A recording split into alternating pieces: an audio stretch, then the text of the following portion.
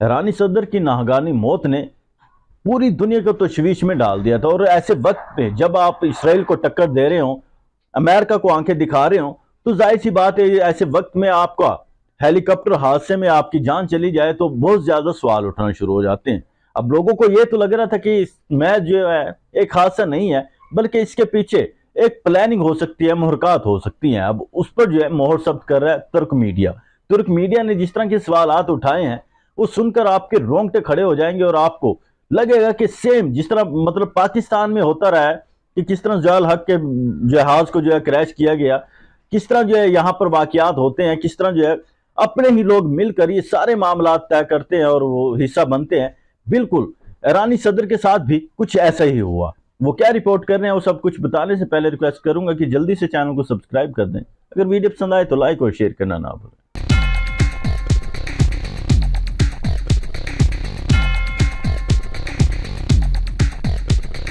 ترک میڈیا کی رپورٹ پر آنے سے پہلے بتا دوں کہ نو مئی کو جو ہے، رانی صدر کا ہیلی کاپٹر آذربائی جان کی سرحد پر ڈیم کی افتتاح کی تقریب سے واپس آتے ہوئے موسم کی خرابی کے باعث گر کر تباہ ہو گیا تھا۔ جائے وقوع پر ریسکیو ٹیمز نے جو دیکھا وہ انتہائی افسوسناک تھا۔ انہوں نے کہا کہ ہر طرف ملبہ پھیلا ہوا تھا۔ ہم نے دیکھا کہ نہ صرف زمین کے اوپر بلکہ درختوں کے اوپر بھی جہاز کے ٹکڑے انسانی اعضاء جو ہے وہ پھیلے ہوئے تھے۔ جہاں پر جہاز گرتا ہے کیونکہ آگ لگی ہوئی تھی، وہ ساری جگہ آگ سے جو ہے جلی ہوئی نظر آتی ہے اور جو ہے ہر طرف جو ہے خوف ہراس ہوتا ہے، چیزیں ٹوٹی پھوٹی ہوتی ہیں، عذاب بکھرے ہوئے ہوتے ہیں۔ اور اس کے نتیجے میں ایرانی صدر وزیر خارجہ حسین امیر عبد الحیان اور ان کے ساتھ ہی جو ہے وہ تصدیق کر دی جاتی ہے کہ وہ اپنی جان سے چلے گئے ہیں۔ حادثے سے قبل اب جو چیزیں سامنے آئی مطلب جو چیف آف سٹاف نے بتایا تھا، وہ یہ بتایا تھا کہ حادثے سے قبل تین ہیلی کاپٹروں میں سے ایک میں موجود صدر رئیسی کہ چیف آف سٹاف غلام حسین اسماعیل نے بتایا کہ صدارتی ہیلی کاپٹر کا پائلٹ نوائے کا انچار تھا۔ ہیلی کاپٹر نے پروازوں کی پرواز تو کی، موسم اس وقت ٹھیک تھا، لیکن پرواز کے پینتالیس منٹ بعد صدارتی پائلٹ نے کہا کہ بادل سے بچنے کے لیے پرواز اونچی کریں گے۔ تین سیکنڈ ہمارا جو ہے رابطہ پائلٹ کے ساتھ رہا، نوٹ رہا، لیکن صدر کا ہیلی کاپٹر جو ہے اچانک پھر وہ غائب ہو گیا۔ غائب ہونے کے بعد جب ہم نے پائلٹ کے قریب ہم نے جو ہے وہاں پر موجود ہمارے پائلٹ نے قریبی تانبے کی کان پر ہیلی کاپٹر کو اتارا صدر کے پائلٹ اور وزیر خارجہ اور صدر کے محافظ کو فون کیا، مگر جواب نہ ملا۔ نماز جمعہ کے پیش امام جو آل ہاشم ہیں، ان کو کال کی گئی، کیونکہ وہ بھی اس میں شامل تھے۔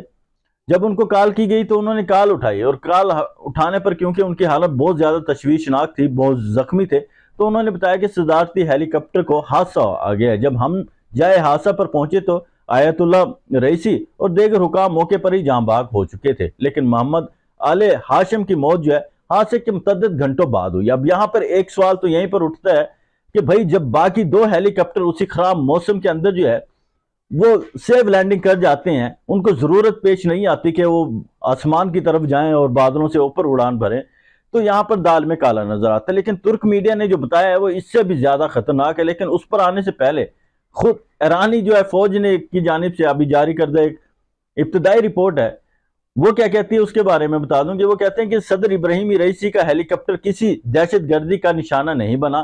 ہیلی کاپٹر اپنے پہلے سے طے شدہ راستے پر تھا اور پرواز کے راستے سے نہیں ہٹا۔ ہاتھ سے سے تقریباً جو ہے ڈیڑھ منٹ قبل ہیلی کاپٹر کے پائلٹ نے قافلے کے دیگر پائلٹوں سے رابطہ کیا۔ ہیلی کاپٹر کے ملبے پر گولیوں یا اس سے ملتی جلتی اشیاء کا کوئی سراغ نہیں ملا۔ حادثے کے بعد ہیلی کاپٹر میں آگ لگ گئی۔ واچ ٹاور اور پرواز کے عملے کے درمیان بات چیت میں کوئی مشکوک مسئلہ نہیں پایا گیا۔ مزید وہ کہتے ہیں کہ تحقیقات آگے بڑھنے پر وہ جاری ہیں۔ ایرانی جنرل سٹاف کی ابتدائی رپورٹ میں تفتیش کاروں نے کسی بھی الزام جو ہے الزام نہیں لگایا۔ اب یہاں پر ظاہر سی بات ہے کہ معاملہ اب ترک میڈیا کا جب دیکھا جائے گا تو آپ حیران ہوں گے کہ وہ یکسر کہانی تبدیل ہو جائے گی اور یہ رپورٹ بھی آپ کو سمجھ لگ جائے گی کہ بھائی ایرانی آرمی جو ہے یہ اس طرح کی رپورٹ کیوں پیش کر رہی ہے؟ کیونکہ جو ترکی میڈیا نے جو رپورٹ دی ہے، وہ بالکل جو ہے آرمی کے خلاف جا رہی ہے۔ وہ کہتے ہیں کہ بھئی یہ اس میں ملوث ہے۔ اب ہے کیا؟ وہ کہتے ہیں کہ غیر ملکی میڈیا رپورٹس کے مطابق ترک میڈیا نے سوال اٹھایا کہ حکومتی سربراہ کے لیے چار دہائیوں پرانا ہیلی کاپٹر کیوں استعمال میں لایا گیا؟ امریکی ساختہ ہیلی کاپٹر ایرانی صدر کے استعمال میں کیسے آیا؟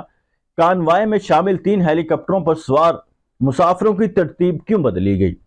ایرانی صدر ماضی میں تبریز کے دورے کے لیے روسی ہیلی کاپٹر استعمال کر رہے تھے۔ اب امریکی کیوں کرنا پڑا؟ ماضی میں پاسدار انقلاب سے پائلٹ رہا اور اب فوج سے کیوں لیا گیا؟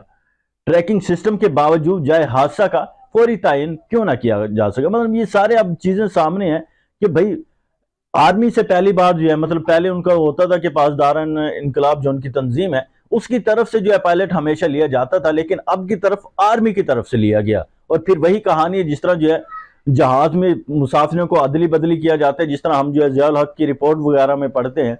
تو وہی چیزیں سامنے آ رہی ہیں کہ جان بوجھ کر ایسا لگتا ہے کہ لوگوں کو جو ہے وہ عدلی بدلی کیا گیا جو اس جہاز میں بیٹھ رہے تھے۔ کیونکہ جن کو مارنا مقصود تھا، وہ اس جہاز میں بٹھائے گئے، باقی دوسرے جہاز میں شفٹ کر دیے گئے۔ اور اسی طرح جہاز کو جان بوجھ کر مطلب وہ جہاز نہیں دیا گیا جو عموماً وہ اس دورے کے لیے یوز کرتے ہیں، بلکہ دوسرا جو ہے جہاز اس کو استعمال میں لایا گیا۔ اب یہ ساری چیزیں جو ہے اس معاملے کو مزید ظاہر سی بات ہے کہ مشکوک کرتی ہیں۔ اب ترک میڈیا نے مزید سوال اٹھاتے ہوئے کہا کہ ہیلی کاپٹر کا سگنل کے فعال یا خراب ہونے کا کیوں نہ جو ہے نوٹ کر پائے ہیں۔ دوسرا شیڈول کے مطابق وزیر خارجہ گورنر تبریز نے دو نمبر ہیلی کاپٹر میں سوار ہونا تھا، وہ اس پر سوار کیوں نہ ہوئے۔ واضح رہے کہ ایرانی صدر جو ہے وہ آپ کو پتہ ہی ہے کہ کس طرح پھر حادثہ پیش آئے اور پھر یہ سارے معاملات جو ہے سامنے آئے ہیں۔ اب آپ کو جو ہے، میں نے خود ایرانی جو فوج ہے، اس کی بھی رپورٹ، آپ کو ابتدائی رپورٹ جو سامنے رکھ دی ہے، جس میں بہت زیادہ تضاد نظر آ رہا ہے اور یہاں پر شک و شبات مزید بڑھ جاتے ہیں کہ خدا نہ خواستہ کہیں ایسا تو نہیں۔ اگر ترک میڈیا صحیح رپورٹ کر رہا ہے تو کیا پھر؟ یہ غداری ہوئی ہے۔ خود جو ہے، ایرانی فوج نے ایرانی صدر کی جو ہے جان لی ہے۔ اور یہ ایک پلان کے تحت ہوا ہے اور اس پلان کے پیچھے کون ہے، وہ سبھی جانتے ہیں۔ آپ لوگوں کے سارے معاملے پر کیا کہنا ہے، اپنی ریکمنڈ میں ضرور دیں۔